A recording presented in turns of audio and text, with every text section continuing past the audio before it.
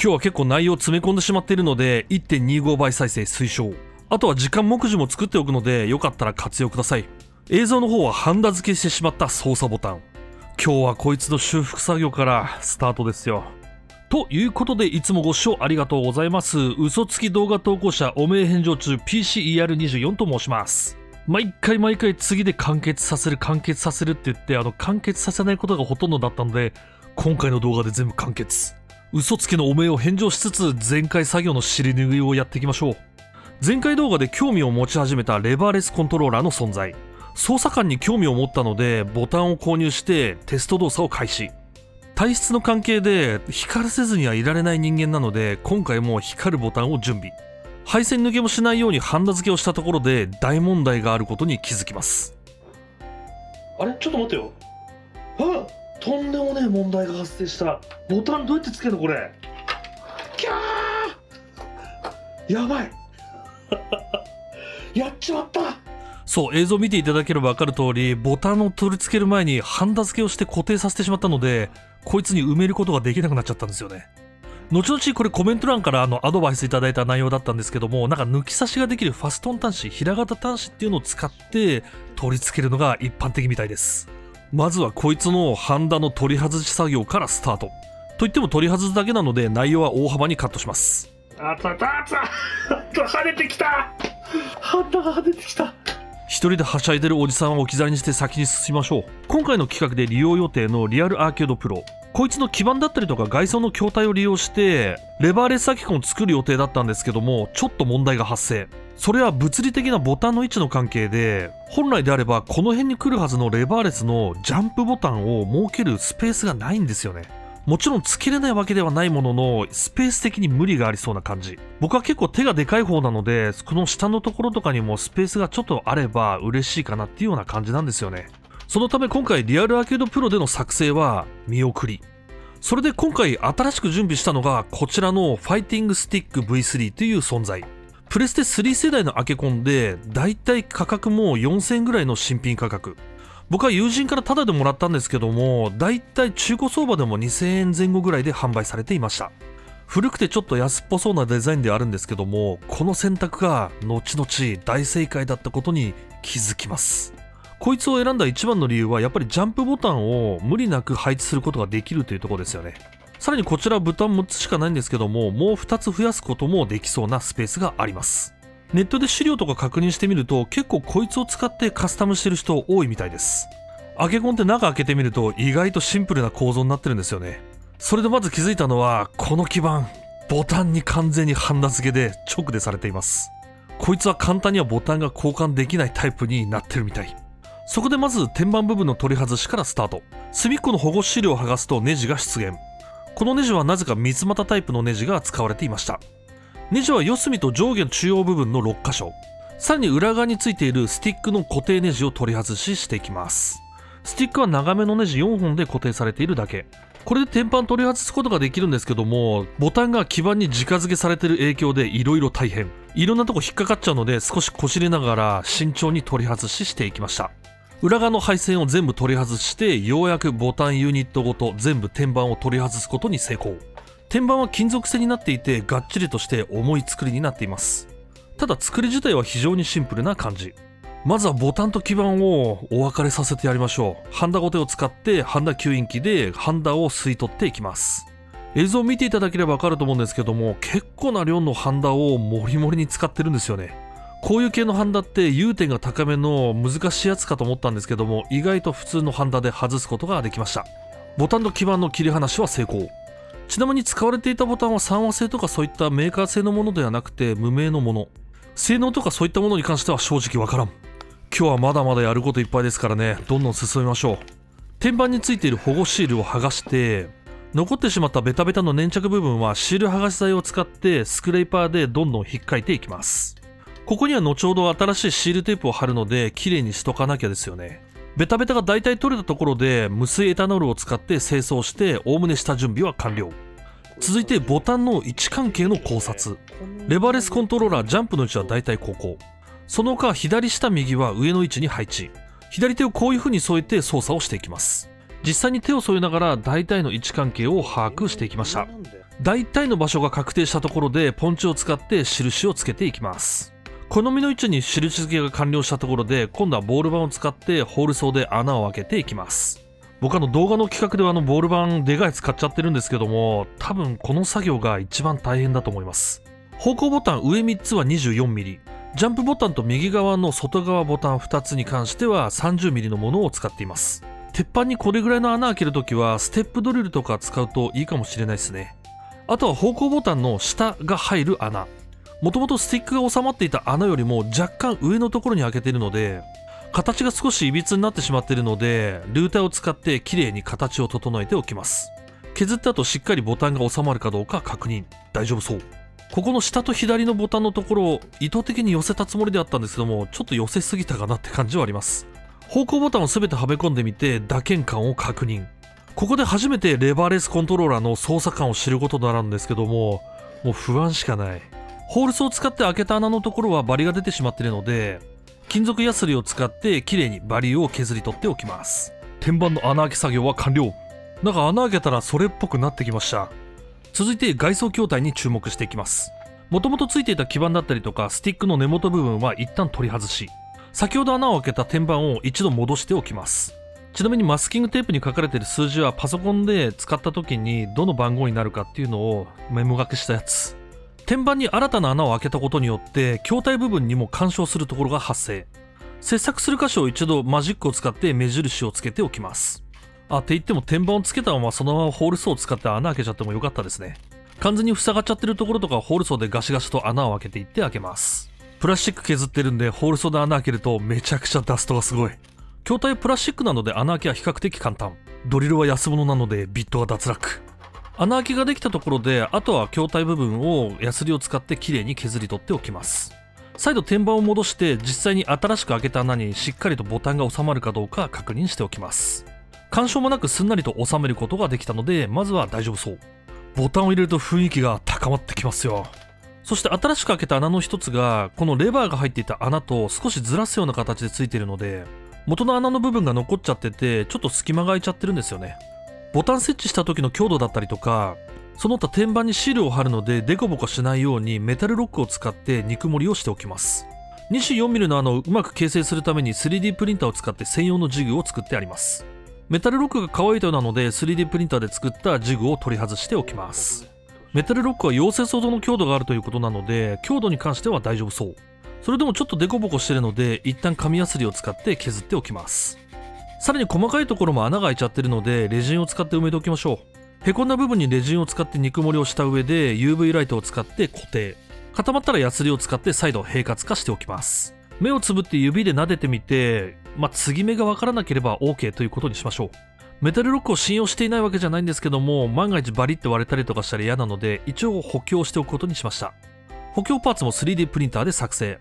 裏側部分にべったりとメタルロックを塗布。周りの鉄板に覆いかぶせるような形で裏側部分を補強しておきました。これで多分強度に関しては大丈夫でしょう。マスキングテープとかついてて見た目ちょっとダサいけどまあ裏側になるから見えないからいいか。天板にシールを貼り付けていきましょう。PS3 液芯冷却計画 ダメ家で。PS3 液芯冷却化計画の時にあんまりに余ってたカーボンのシートを使用。大切な人に贈り物を贈るかのごとく綺麗にラッピングをしていきましょう。縁の部分を外から見た時に鉄板が見えないように内側部分に折り込んでおきます。ボタンはシールで塞がってしまっているのでカッターを使って綺麗にくり抜いておきます。周りの形は少し歪なんですけどもボタンが収まってしまえば見えないので大丈夫ってことにしましょう。こちらがカーボンシートを貼った天板になります。思ったよりいいじゃん雰囲気出てるよって感じがしてきましたよ。ところどころダストが入っちゃったりとかして気泡が入ってるような感じもあるんですけどもほとんど目立たないので大丈夫ってことにしましょう。いや、雰囲気いい感じになってきましたよ。続いて天板部分を筐体に収めていきます。これで全部ちょっとお見せしちゃうと雰囲気が伝わってしまうので、これは後ほど。固定するためのネジ穴は塞がってしまってるので、ここはまあしょうがないので、ネジを使って穴を開けて固定することにしました。本当はね、もうネジ見えてない方がかっこいいんですけども、やっぱりちょっとね、構造上そうすることができなかったので、黒いネジ買ってつけといてもよかったんですけども経費節減のためにマジックで塗りつけときましょう。天板部分の処理が完了したら今度はボタンのはめ込み。自分の好きな色を好きなところにどんどんと配置していきました。サイズも特に問題はなさそう。続いて改めて配線に注目していきます。動画の冒頭でボタンのハンダ付けから外した配線。こいつにコメント欄からアドバイスがあった平型端子ファストン端子を使って接続することにします。今回平型端子110サイズのものを利用。今回は操作ボタンが12個通常の信号線プラスとマイナス2つに加えて LED の配線も2つあるので1個のボタンにつき4つ。合計で60個のこのファストン端子をかしめることになります。だいぶ握力が鍛えられましたよ。ファストン端子のかしめが完了して固定できたところでショート防止のため熱収縮チューブを使って表面部分を保護しておきました。いや結構な時間と体力は使ったんですけどもこれによってボタンの抜き差しはだいぶ簡単になります。もう最初からこうしておけよって感じですよね。アドバイス感謝です。差し込みの感覚に関しても緩すぎずきつすぎずちょうど良さそうな感じでした。続いてボタン信号の配線を考えていきます。であの本当やってる時はもう全然気づかなかったんですけどもあのこの基板いらないですよね。もう全部ハンダ外して直で決戦すればよかったんですけども何を考えてるのかわかんないですけどね。なぜかこの基板にわざわざ配線していくことになってしまいました。しかも配線の色選べがめんどくさかったのでグランドとプラスの信号線の色を変えただけで全部同じ色にしてしまいました。攻撃ボタンの配線に関しては一つ一つ辿って差し込むこととしましょう。こちらの先端に関してももう痛い思いをしたのでしっかりとファストン端子を利用してこいつをかしめておくこととします。続いて方向操作の信号線に注目していきます。こいつもファイティングスティック V3 の根元にもともとついていたスティックの部分なんですけどもハンダで直接ついていました。もったいないとは思ったんですけどもこいつを利用して配線を作ることとしましたかなり短い方向操作の信号線なので根元部分から少しでも長さを確保するために切断こちらも同じく先端部分にはファストン端子を接続しておきます。方向操作の信号線ではこれで完了、簡単。続いてメイン基板から LED を点灯させるための電力を供給するための配線を拝借します。こいつも USB の根元部分から電力を頂戴しちゃいましょう。ハンダ付きが終わったらレジンを使って配線部分を保護しておきます。ショート防止と配線の抜け落ち防止両方できるので便利。パーツが出揃ったところでようやく組み上げていきましょう。ボタンを全て組み込んだ天板部分。こいつは無駄にスペースを取ってしまう基板をつけたままの操作ボタン。続いてこちらがメイン基板。方向操作するために切り出した配線。そしてパソコンやゲーム機器と接続する USB ケーブル。最後に LED の配線を準備して組み上げていきましょう。接続する箇所は多いもののファストン端子の影響力はめちゃくちゃでかい。配線するのがめちゃくちゃ楽なので間違えたらつなぎ直しが簡単にできるっていう点も助かっています。ゲーセンに置いてある筐体とかは大体こういうような構造になってるみたいですね。ボタン側の配線が完了した後はコネクタをメイン基板に接続して配線作業は完了。配線が密集しているので裏蓋を閉めることができるか心配だったんですけども全然大丈夫。このファイティングスティック V3 の筐体自体がかなりスペースがあるので余裕で収めることができました。裏蓋のネジをしっかりと閉めた上で実際にどうなってるのか動作確認をしていきましょう。まずはパソコンを使って接続状況の確認。USB を接続するとすぐにパソコン側が認識してくれてボタンが点灯してくれましたいや思ったより見た目いいじゃないですかなかなかかっこいいですよ実際ボタン操作して打った感じに関しては元々のボタンよりも結構ストロークが長いんですよね気持ち押し込んであげないとボタンが反応しないかなっていう感じはしますこのボタン自体80円ぐらいのめちゃくちゃ激安の LED ボタンなのでまあ性能は気にしないでいきましょうあとボタンの高さがあるので、ちょっと指に引っかかる感じがあるのが 致命的ですよね。ただまず今回はレバーレスコントローラーの操作感っていうのを知りたくて作ったので、見た目の完成度に関してはまあおおむね満足。あとは心配だったのが方向操作の左と下の部分ですね。ちょっとボタンがやっぱ干渉しちゃったので片方削ってしまいました。あとは操作の違和感に関しては触ったことすらないので違和感があるかどうかすらもうわかりません。それではスト5を使って実際にプレイしたいところだったんですけどもその前にちゃんとボタンが機能してるかどうか確認していきましょうコントローラー設定内にあるボタンプレビューを使って実際にボタンが反応するかどうか確認一番右側の2つは配線してないので反応はしないんですけどもそれ以外に関しては特に問題なく動いている様子。方向指示はもちろんのこと大中小のパンチに関しても問題なし。まあ元々のファイティングスティック V3 自体がゲーム機はもちろんのことパソコンでも使えるってことが分かっていたので接続自体は問題がありませんでした。それでは実際にゲームをプレイして使用感を体験してみましょう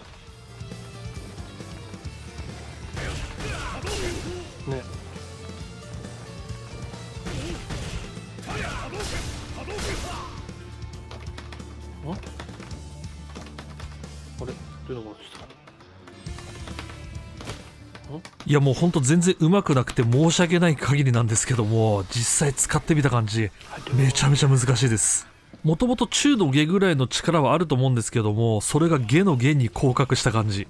飛び込み大キックするだけでも頭使って考えないといけないので難しいんですよね。さらにあの左手を薬指まで使わなきゃいけないっていうところにめちゃくちゃな違和感を感じていてちょっとねしばらく頑張って練習してみたいと思います。とまあここまでは乗っ取り方式を利用した格安なレバーレスコントローラーの作成だったんですけどもこの乗っ取り方式一つの問題があることをご指摘でいただきました。それは自作レバーレスコントローラーにおいての問題点の一つ左右同時押し問題。映像の方はリアルアーケードプラのスティック基板のところ。裸の状態にして左右を同時押しすると左が優先になります。基板によっては左右同時押しの際後に押したものが優先される後優先タイプのものも結構あるとのことそれが格ゲーの特にストリートファイターにおいては規定違反になるということでしたさらに実際の戦いにおいても結構有利な立場になっちゃうとのことなんですよね。そのためこのレバーレスコントローラーアケコンを利用して乗っ取る方式で作った場合に関してはそれが問題点の一つとして指摘されてるみたいです。スティック操作では不可能な左右同時押しや上下同時押しこれらの挙動をどうするのが適切なのかちょっと確認。Twitter とかでもお詳しい方に教えてもらったんですけど左右同時押し上下同時押し。この時信号はニュートラルを出力するのが適切みたいです。つまり信号は出力しないっていうことですかね。もしくはどっちも出すという方法にしてソフトウェア側に処理させる方法もあるみたいなんですけどもこの場合同時押しでどちらも出力しないっていう方法が間違いなさそう。あと上下に関しては特例として上優先にすることは認めてるみたいなんですけどもいつまでであるかどうかはわからないみたいです。最新のストリートファイター6に関してはなんかニュートラルになるとのことでした。まず自作アケコンの定番といえばこの基板ですよね。こいつを使ってまあ自作のアケコンだったりとか作る人が多いんですけどもまず金額が高い。PC はもちろん他のゲーム機にも全部対応してるのでこいつを買えば間違いないですよね。さらに左右同時押しだったり上下同時押しのその機能についてもしっかりと実装されてるような感じ。いわゆる SOCD クリーナーも内蔵されてるとのこと。手っ取り早くこいつを使ってしまいたいところなんですけどもなんせやっぱり金額がネック。そこでこれも視聴者さんから頂いた方法で試してみることにしました。手に持ってるのは知る人ぞ知るアルドゥイノプロマイクロと言われるマイコンの一種ですね。こんな小さな基板一つであんなたくさんボタンがあるものをちゃんと制御することができるみたいです今回の企画で初めて見て触ったものなのでまずは基本的なところをやってみましょ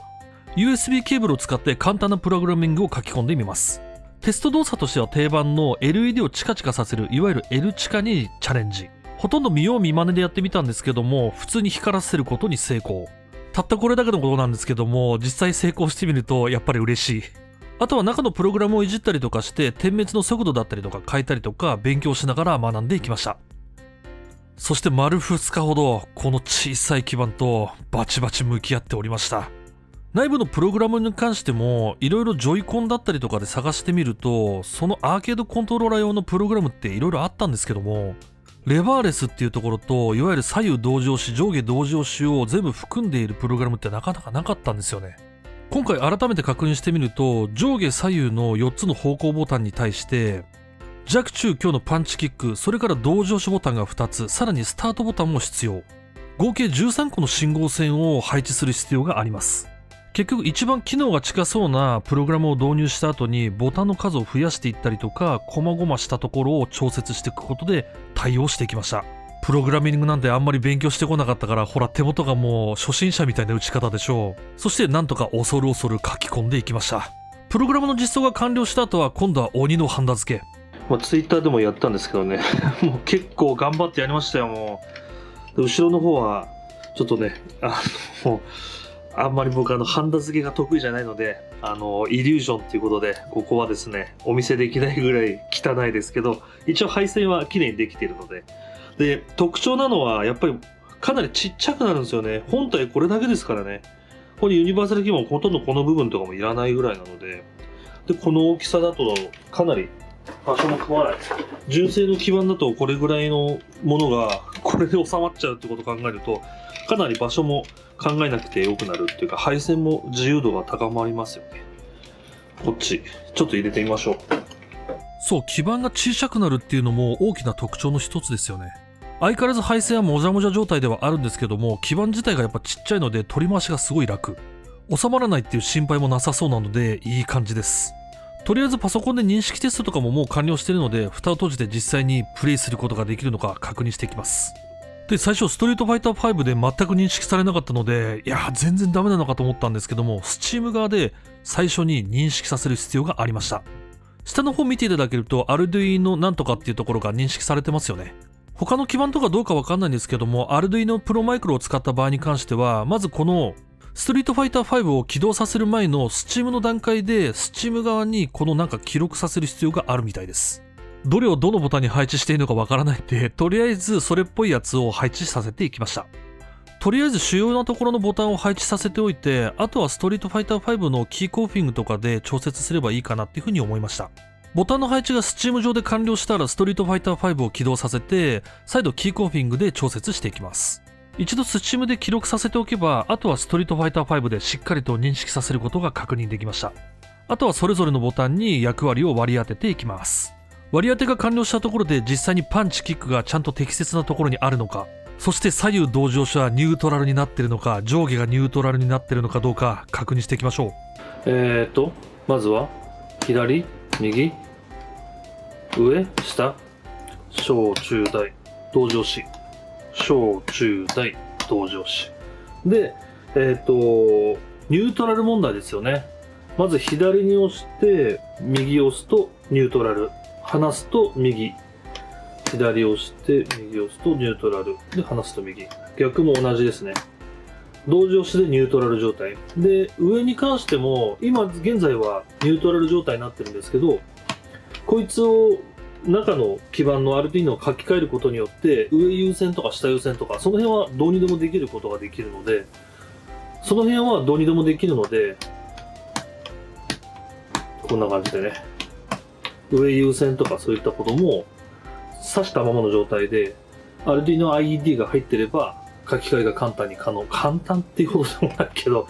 まあプログラムを書き換えることでできるようになるという感じですね。よしちょっと実際プレイしてみましょう。どうやら想定していた動きになってくれたようだったので実際にゲームができるかどうか改めて確認していきます。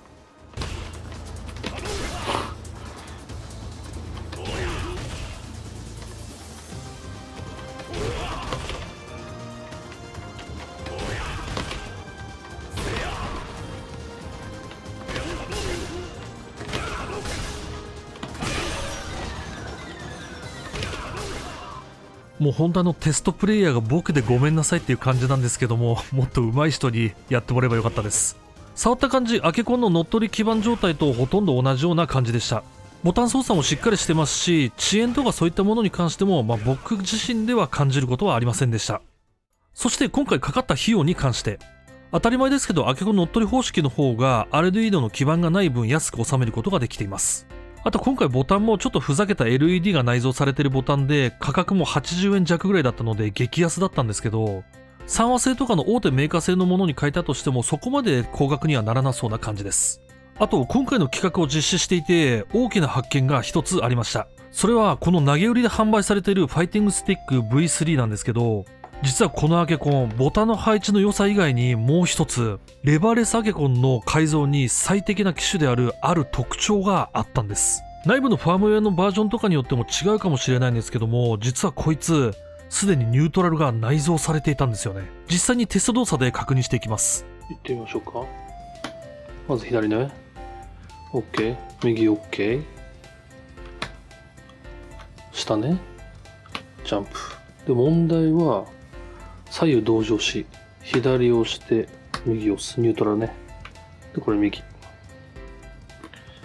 いい左押して、ニュートラルね。で、下も、下、押して、上ね。もう一つ持っていたアケコン、リアルアーケードプロとかに関しては、上下同時押し、左右同時押しに関しては、片方の信号が出ているというような状況だったんですけどもこのファイティングスティック V3 に関しては同時押しでなんとニュートラルができているような状況になってたんですよね。今回少しでも安く仕上げるためにこの Arduino を使って SOCD クリーナー左右同時押し上下同時押しでニュートラル状態になる。その条件を組み込んだ上でこのプログラミングをして実装したんですけどもこれ自体めちゃくちゃ勉強になったんで、やってよかったなと思ったんですけども、ただ単純にレバレスアーケコンを作りたいっていう人は、ファイティングスティック V3 を選べば、それで全て解決。さらにもともとゲーム用途の基盤でもあるので、プレステ3だったりとかプレステ4、その他パソコンとかにも色々対応することができるようになっています。アルディーニョの時みたいに Steam にわざわざ登録してとかっていう必要もないので、次もし作るんだったら、また多分この中古のファイティングスティック V3 を安く購入することになると思います。あと自社宣伝になっちゃうんですけども PCR24 では現在アンチベントクールブースターと呼ばれるパソコン用 CPU の固定金具を販売しています。ちょうど1年ほど前にこの CPU を全周囲で固定するという方法を提唱。おそらく世界で初めてだとは思っています。そこから1年ほど経過したところもあったので今度旧世代用の CPU にも対応するものを準備。LG1151 から LG1200 までのソケットに対応しています。一応幅広く対応できるように設計はしてあるんですけども、なんせ数がかなり多いので、まあ、入らなかったら返品対応とかしちゃってください。一応手前の検証環境ではあったんですけども、冷却効果の向上もあり。旧世代対応のリクエストとかも結構あったので、今回作成させていただきました。Amazon でちょっと数量絞って販売しております。概要欄の方にリンク貼らせていただきますので、よろしかったら覗いてみてください。差し込みの広告、失礼いたしました。ということで最後までご視聴ありがとうございました。もしよろしかったら高評価ボタン。今回動画長えよと思ったら低評価ボタン押しちゃってください。ある程度に関しても他に色々と機能を持たせることができるので、なんかやりたいこととか増えそうな感じ。今回アルディーノを使ったレバーレスアケコの作成に関してはかなり端折った説明になっちゃったんですけど、また機会があれば細かく説明できればと思っております。最近面白くて結構ゲーム系のアイテムとか触ってるんですけども、また次回は修理系の動画とか上げてみようかなっていうふうに思っております。ということで引き続きお付き合いよろしくお願いいたします。